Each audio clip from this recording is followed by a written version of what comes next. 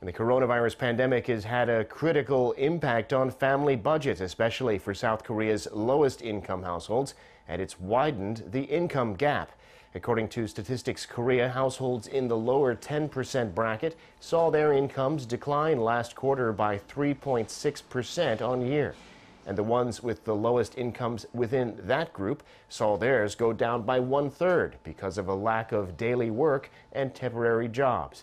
Among the highest earners in the top 10%, their incomes actually rose by 7%, so that their incomes were six times that of the bottom bracket.